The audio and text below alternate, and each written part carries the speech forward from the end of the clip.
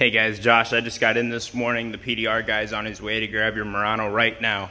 Like I said, I just wanted to keep you updated so you knew what was going on with your brand new vehicle.